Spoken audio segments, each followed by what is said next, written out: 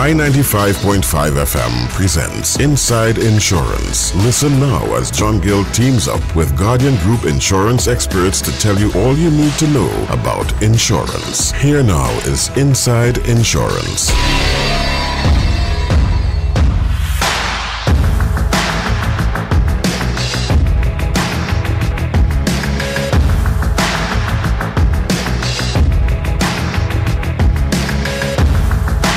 Good afternoon, Trinidad and Tobago, and welcome to Inside Insurance. Just about 31 minutes after the hour of 3 o'clock in TNT, and every first and last Friday in every month, we feature this segment called Inside Insurance, brought to you by Guardian Group, um, and uh, it features Guardian Life and General experts as we discuss different aspects of insurance. And today we'll be talking specifically health insurance, and we have Guardian Life expert, uh, Mr. Cal. Calvin, you've been here before. I've been here. Been you've here been here before. so, um, you know, um, you're always welcome here. Thanks, and um, we look forward to having you. So we have with us Mr. Calvin Mendez. He is an assistant branch. Ma- am I correct? That's assistant right. Assistant branch right. manager at uh, uh, Guardian Life. And today we're talking health insurance. So we'll be um, in a while inviting your calls and so forth. But until then, we have Calvin here to, to explain some of the important aspects of health insurance. So we get into the program right after this. No matter how careful you are, accidents will happen. But with Guardian Group's comprehensive range of insurance policies, we can take care of all the things you care for. From your car to your house to your contents, to fire insurance, and much more. Guardian Group. Live safe. Live easy.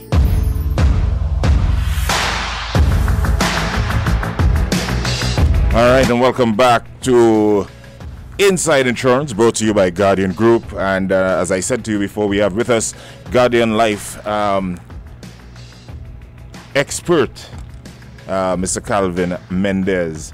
And um, we, today we're talking health insurance in spe- well, specifically, and we have Calvin here to deal with a number of the issues that we have on our plate.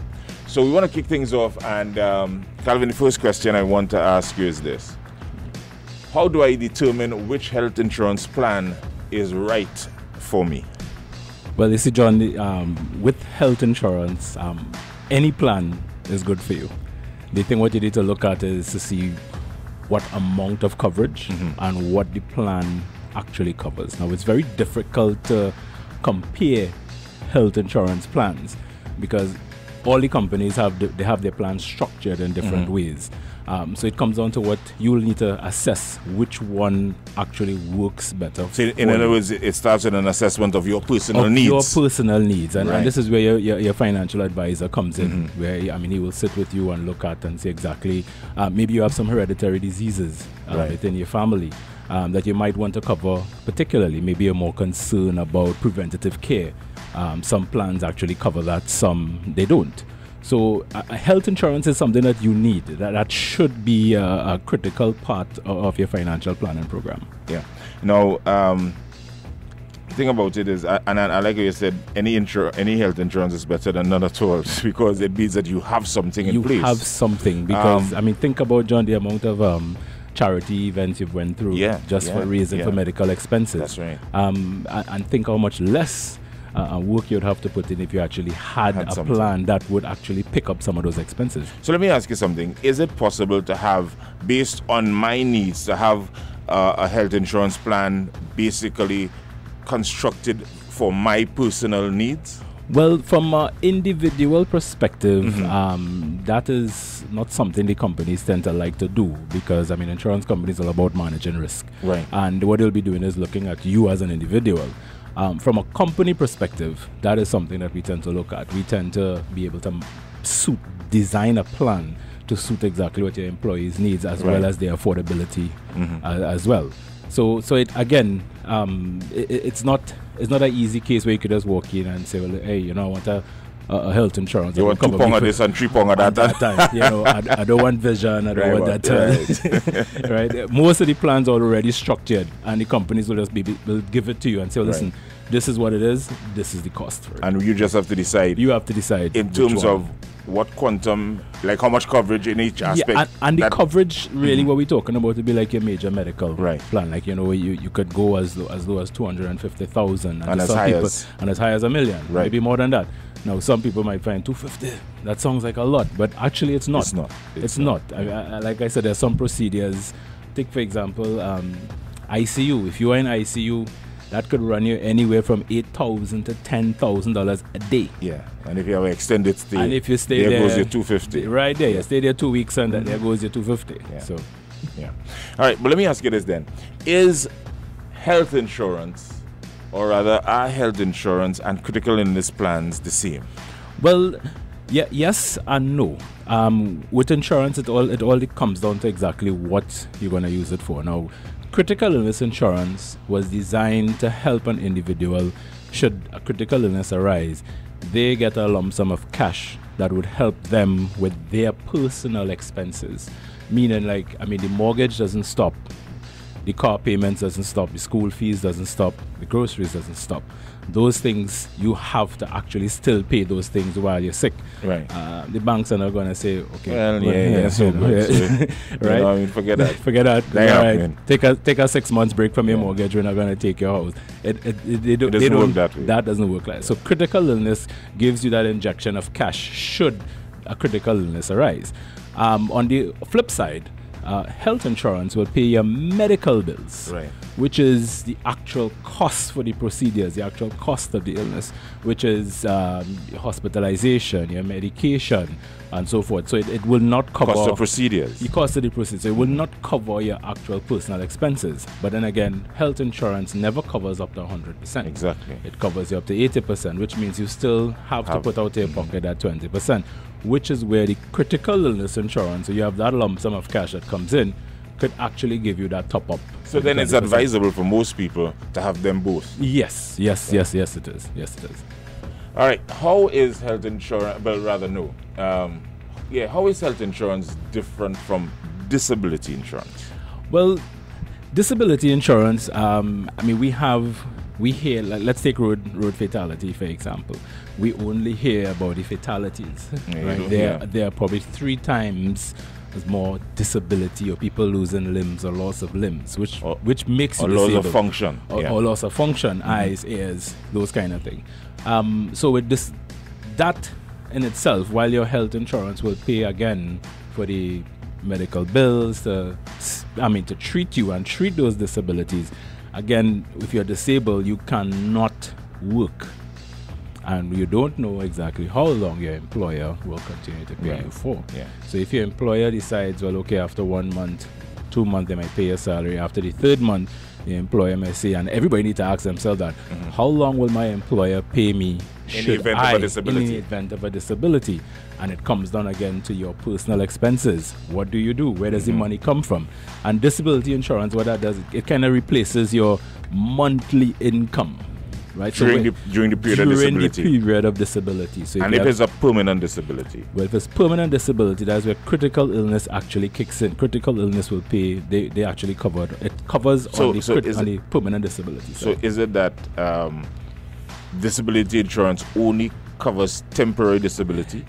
yes, that's right. Now, now you have to remember, permanent disability means that you cannot do anything. Anything, You cannot. yeah. There's no form of employment you can do. That's what permanent disability Yeah. means. So a lot of people say, not that you cannot function in the capacity of your current job. It means a doctor must say, a physician must say that you cannot work That, that anywhere. that, that your your your earning ability has been it has been totally- totally di- di- Disseminated, yeah. Yes, that's right. All right, good. That's clear enough. Um, what is the difference between a deductible and co-payment? Your deductible on the health insurance, to make it as simple as possible, um, everybody understands car insurance. It's like your excess on your car insurance. It's the portion of the claim that you are responsible Responsible for. And that tends to be a very um, small figure. Uh, in some cases, it's like $250 a year, $300 a year. At the high end, maybe $500 a year. Right. So you're setting a claim for $1,000. Um, the first 250 would be your responsibility. So and then really, the- yeah, the, the, the insurance will only cover you up to seven up to seven hundred and fifty dollars. But the thing about with the deduct- with deductibles, you're only paid once a year. So you pay a deductible in January, you don't have any deductibles to, To pay pay, for the rest for of the the year. rest of the year. Okay. Well, that's good news. And what is, therefore, all right, so, and the question was, how is that different from Uh, co-payment? co-payment, Yeah. right? Co-payment. Most health plans covers you cover you for 20, um, 80%, 20%. Meaning the insurance company pay 80%, you're responsible for 20%. So your co-payment, so it's, it's like I said, it never covers 100%. So your percentage is what is the co-payment. Co-payment. Yeah. So if it's 20%, some plans actually go as high uh, that it- they will pay up to 90%, and your co-payment will be 20% of the, the cost of the Right. procedure. Yeah. All right, fantastic. Um, will my health insurance plan cover medical expenses if I get sick, injured, become hospitalized while abroad? Or do I need to purchase travel insurance beforehand for that purpose?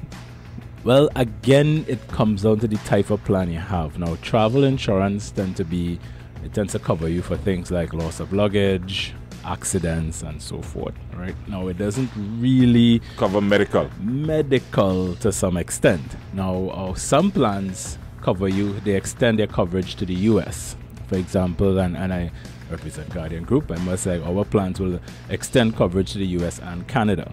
so Only US and Canada, not only US Europe. Mm-hmm. and Canada. You, you see, what, what you try to do is you, you because you have to look at the management of how um, medical expenses are.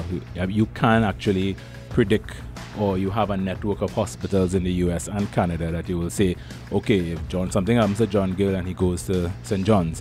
We know that for The- this the cost procedure, the cost will be that. It's a little difficult to do that in Europe, so we can't really extend that to, to Europe. And a lot of and most insurance companies that's what they do. They tend to leave it to the leave US and Canada. US and Canada. So yes, you will be covered. Uh, in particular, our plans. Once you have your card, there is a number in the back of a, a 800 number, toll free that you call, and you get. One of the main, the main, main thing you get is hospital admission, admission, Admission. guarantee. Yeah. Uh, you know, it, it is rumored, but it's not always the case that if you don't have insurance, they don't touch you Yeah. in the US. Um, some hospitals do that, some, Some they don't you away. But it's, it's better to have it than Yeah, always better to have it than not to have it. yeah. All right, so okay, Calvin, we, we want to take a short break. When we come back, we're going to open up the phone lines. I'm certain that there are uh, listeners out there who have additional questions. So, um, just to let you know, we're talking with Guardian Life expert uh, Mr. Calvin Mendez, and this is the program Inside Insurance, brought to you with the kind compliments of Guardian Group. How careful you are, accidents will happen. But with Guardian Group's comprehensive range of insurance policies, we can take care of all the things you care for. From your car to your house, to your contents, to fire insurance, and much more. Guardian Group. Live safe. Live easy.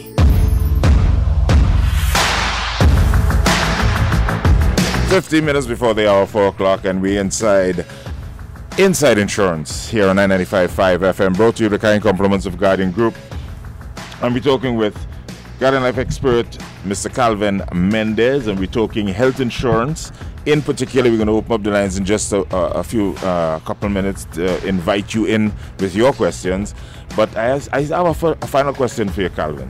And how can I afford health insurance? Are there payment options? Um, from an individual standpoint, um, you're only allowed biannually and annually to pay individual insurance. From a company or group perspective, then it's done monthly, which is deductions through your employer. So, can you afford it?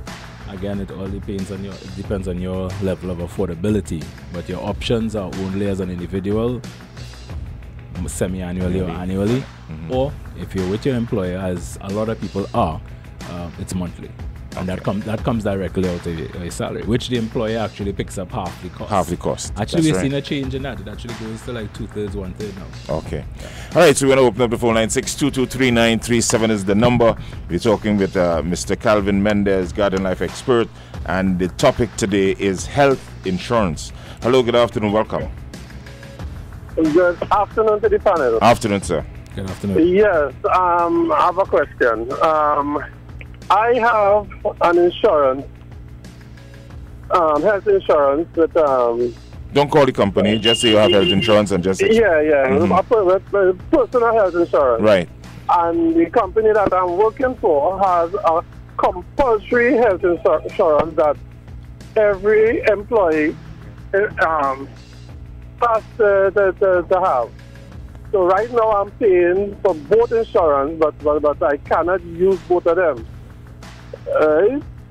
And both of them is, is, is for, my family. So so what what is the um, first, first to begin with, is that legal? Uh, yeah. And the second thing is, um, what, what could I do? Uh, because I can't use both. Because when you're claiming, they say you can only claim one. But that's not quite true, though. That, eh? that is not. That that's is not, not totally true. true. Yeah, but listen to Calvin's yeah. explanation. Right. Yes. Yeah, it, it, comes down again to the two the two plans that you have. Um, if the major medicals on both plans are the same, um, which is I highly doubt doubt it, yeah. um, because there are no unless you have two Guardian Life plan or two other mm-hmm. insurance companies plan, then you would see there would be these benefits will be identical. Right. Mm-hmm. Other than that, it's highly unlikely that uh, that two health plans would have the same benefits. So, if you, for example, your company plan, which is compulsory and, and that is not illegal, by the way, that is just the company policies and procedure, and, right. and, and they are entitled to, to do and that. actually, it's a it's a benefit. It is a benefit. It is a benefit, and, and they are actually paying, paying part of part of, of it, the cost, uh, the yeah. cost as well, which is how it works. And like I said, the, the, the, shift has been changing. It's no longer 50-50. Company pays two thirds, the staff pay one, one third. third yeah. Um, some companies actually pay all of all it. of it. Yeah, depending on where you are in the company. Yeah. Right. Um, mm. Companies are switching that. So um, your company plan may be two hundred thousand dollars, and your individual plan may be three hundred. So or that, vice that, versa. Or, or, vice versa. So yeah. what you can do is you pay you claim on the maximum on the lower plan. What you can get on that one, and then the balance you can now claim on the, on other, the other plan. plan. So y- yeah. yes, you can pay, you can, uh, and in some cases, um, when we calculated, we say it can't be done, but in some cases, when you have two plans like that, you can actually get back almost hundred percent. That's right. You 100%. can almost. Yeah. So, so it's in your your interest and your family interest to actually have, have them both. Have them both. Yeah. But if one if one actually gives you more benefit than the other, let's say the company, and it's costing you less mm-hmm. um, from a financial advisory um, standpoint, then that's the one you, you, might want to stick with. But then also, there are some plans that are not portable. So your employer's plan, even though they mandate that you are you are on it, if you leave the company, you can't, you take, can't it, take it with you. So you need to keep your individual. You need to keep your individual. Yeah. Yeah. All right. So. All right. 6223937 is the number to call if you have questions for Calvin on health insurance. This is Inside Insurance, and we're talking health insurance this afternoon. Is brought to you the kind compliments of Guardian Group. And, um, you know, and I'm glad you call a call and ask that question because there are a number of people that have that issue. Yes, if they have an individual plan and, and they have a company plan, for example, if you've had an individual plan for a while and you, you, you didn't work with a company that had a group plan, then you, you start working with a company with a group plan you know, some people might decide, you know what, I could give up my individual, but that is not always a good that idea. That is not always a good idea. Yeah. Now, if, if the if the plan of the company has the conversion option, or should I say the portable mm-hmm. option, mm-hmm. um, which means that when you leave, leave you can you take just, it with you. You take it yeah. with you. You just sign a form, and you pay the total and premium. you pay yourself. the total premium yeah. yourself. Then you stick with the company plan. Mm-hmm. But what you don't want is that you you already have coverage, and the coverage on the individual plan and then if you leave the company, it's, it, not, portable, it's not portable, and you have to go and apply. Yeah. And I mean, God alone knows what might happen to you and what you might claim for before, and then you don't qualify anymore. Right. That's right. Because when you go back to apply, you apply as a, as a, as a new person. A new person. Yeah. Correct. So, so you need to look at all those, take all those things into consideration, consideration. before you actually yeah. end the, or any insurance program actually. Yeah. So. Um, now, health insurance, as you said earlier, has become even more important in today's world eh?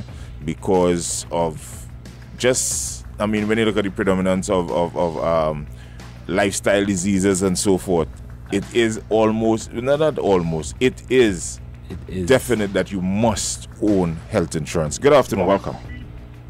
Hello? Yes, I'm, yes, I'm, I'm calling back because All right. I didn't. I, I don't find the answer was was, was so good, probably All right. because I didn't explain myself All right. properly. So let- let's hear the Uh, question let's, again. let's try it again then. Yeah, yeah. So, um, my plan, but both of them is company plan. My my, my wife is not really a, a personal plan. My wife Oh, Okay, and she that changes a, a plan that, that so so and then my company, well, well, which is government, and you all work for my, my right. union negotiated Right. and I'm uh, with that plan, but money is coming out of my salary without my approval, right? And for ten years, Without your, without, hold on, without your, without your approval, uh, I'm kind of lost on that. one. Yeah, yes, without If my you- approval. That plan was the workers had no say. It was the, a negotiation between the the, the union and the well, well, I don't know, the, the union. set Well, up And a- your employer? arrange- uh, uh, yes, yeah. and, and, the, and the government. Well, well, it, it, And, would, it would be um, understood that the the union would, yeah. the union You know, would but, be a but you, know, you, know, representative. you know, the thing about it though is therefore it's group insurance. Yes? Yes. Pardon? It's group insurance. The plan that you're on that was negotiated, it has to have been It- it group is insurance. group It is group insurance. Yeah, yeah. So that but means the, the, the cost to you, so that means the cost to you is a lot less than if you try to get it individually on an individual basis. That's the first yeah, thing. But, but, but the, the, the plan that my wife has the whole family in Mm-hmm. is similar. All right. Right? Have And- you have you looked? using that, and it's a better plan actually, Mm-hmm. more benefit, Right. right? And we don't claim much. So, so, so not to say we claim uh, the limit. So the past Mm-hmm. ten years that I have that both plans, I only use one. So I'm paying for my plan, and I never use it. Why? I never made But a claim becau- on it for but- ten years. All right, but then- why? Well, let me ask you a question. Why haven't you? You should. No, because no, because when, when I got a claim, Mhm. right, they, they, they say that you could, they, they could only pull out one form for one company. Yes, Right. and, and they are correct. But the point is this: um, if you claim on your plan, the other plan is your wife's plan. Your wife could then claim on your behalf. We have. Well, and, Eh? and but on uh, uh, just to add to that, John. No, I don't. The well, way- well, the that's way not that what it says. So I don't know. That's what I wanted to get. Well, I- clear well, Well, we, here- here- claim on both both of them. All right, Okay, hold thi- a minute. This listen. is this is how it works, right? Um, in, in insurance, it is deemed that the, the husband is the head of the household, right. right? So what what tends to to happen when it come when if you have a claim, let's say your wife has a claim, and she informed her insurance company that she has insurance, that you have a plan and she's on your plan. Um, it doesn't matter who the insurance company is; they will forward the claim to the husband's plan. They will do that. So they will pay under the husband's plan first to the maximum there. So even if her plan is better, you claim under his plan first, and then the balance you can now claim under. Back so he can't. So let's say, I let's put me in that situation, and I have that plan that was negotiated and which I pay for. If something happens, can't I claim on my plan first? As an yes, you can right. claim so on I have your plan. claimed on first. my plan, Right. and let's say I've, I've received, but it is an inferior benefit to my wife's plan. You can claim the balance on her plan. Then my wife can, can Correct. do it. Yeah, Correct. and so that's the thing. What he's a little bit confused about. So it is possible to to want now if the benefits are the same, however, then there's no I, I'm very familiar with the plan that he is Talking referring- about. talking to, and the benefits. Uh, he he is right. He said it's a her plan is, is a superior, superior plan, plan, which means her plan is probably placed directly with with a with a company. company, yeah. Right, so I, I am quite familiar with, With the, with the two products. So I am sure I, I I I believe him when he says that his plan, his wife plan, is superior. Right, but But his but- premium, Mhm. I am also very familiar, is also I'm sure significantly cheaper than her than premium. Yeah, but also to again, the, the reality is he can claim on his He plan. can and claim if- on his plan. and whatever. Let's eh, if he says inferior, he can then claim the balance That's from right. his wife's insurance. Correct, because his plan is not. It, uh, what I know is his plan is not with a. It's not with a actual insurance company. All right. Good afternoon. Welcome. Yes, good afternoon, John. Good afternoon. Uh, I, I, um, listen to the last guy there, and I, I have a similar situation Mhm. in that my situation is that I, I have insurance um, through my wife. Mm-hmm. I, but I also have, well, her plan is a, a group plan, Right. right. But I also have a personal plan, right? And, and I, I think in this case, I A was. plan well, that you purchased yourself? Yes, I purchased An it. individual plan, right, yes. Yes. So I think in, in my case now, I want to blame the the the um the agent, right, who initially signed me up and tell me if I'm wrong here. I I claimed ninety percent um through my wife's insurance, right? Mhm. They pay ninety percent, right? Right. So I had let's say okay, I I was going to claim ten percent, right, or claim the balance, I should say, um, with my personal insurance, Mhm. right? When I went there, I was told I cannot do so, only to find out that the coverage that I have, right, is only I can only get reimbursement on uh, accident and emergency, right? Well, all right, but Because- what uh, well, what you have is an accident is an accident about to ask you plan. that. Is it an accident, an and accident and emergency plan, plan. Is, it a, is it a comprehensive? Right, but what, what I'm saying, and here's the reason why I said I would believe my agent, right? The, the, the person who initially signed me up because on, on doing this, all they told me is that okay, you can you can claim reimbursement, Mhm, right? And you can claim the balance if you claim in one insurance, you can claim the balance there, mhm. you know. But I mean, I was I was I mean, me who didn't have much experience about insurance, you know, I was never looking at it as okay, I will only be able to claim. You know, for um, an accident accident and and emergency. emergency, emergency situation. Yeah. So I, I believe that you know agents should have, you know, they should be responsible enough to really explain the details. And I agree with you. I agree with you agree 100%. But let me just add this as well. It is also your respons- responsibility to read your policy document. Yeah, I, I mean, and I'm not faulting, and I'm not saying that probably the agent may not have been at fault, eh? but it's also your responsibility to read your policy document. and, and that is some advice. Right? That is some advice And that's- I, I would give Totally everybody. All right. Thank you very much for your call. All right. I, I would give that advice to everybody, Yeah. John. You, you need to read your contracts. A lot of people buy insurance and they don't read the contract. They Well, just bring it back and they don't not read it. only not only insurance. Yeah, They're not not- people that enter into contracts and they don't read they don't the read the contracts. contracts anyway. Yeah. Now you need to look at I mean what you're buying. Are you buying a, a, a- a health plan or are you buying an accident plan? Because th- there there's a there's a big difference between the two. So everybody needs a at least. I mean, yes, there there are people that give you bad advice. Uh, we we cannot. I will not sit Yeah. here and say that that doesn't happen. But yes, you do But- get bad advice. But I mean, it comes on to you as well. You know, read You have your- to take some responsibility you as know, well. and, Yeah. and the previous caller made a comment earlier that said that um, you know, he's never claimed on the plan for ten years, and in, in and that's some- unfortunate. He That's should. unfortunate, you know. But then you have to think about when you do have a claim, it's there. Yeah. Good afternoon. Hello. Yeah, good afternoon. Yes, sir. Right, good Yeah, afternoon. I am. I calling concerning that similar problem that the, the All last right. You need you, you need to be very quick because we're almost out of time. Yeah, okay. Um, concerning the claiming for any bene- benefit, you're supposed to provide um, a receipt for your payment, right? And you can only you can only get um, and it must be original receipt, receipt and you can only produce that one. Can only claim once as far as um, I know. If I have two insurance, the same government insurance and another private one, I just close the private one because I have same problem. All right. I I I I, I don't think. Well, well, there, there's something. Okay, when you do the first claim, right, you get what they call um, EOB, which is uh, explanation of benefits. That is what you use with copies of your. And actually, most insurance companies, once we have on file, that's why one of the questions is, do you have insurance elsewhere?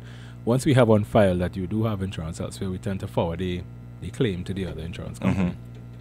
Or we give you the EOB, and you can now take that to your insurer. Um, of course, if the first policy covers um, claim you, you claimed, let's say on the higher level, you actually get more on the first policy.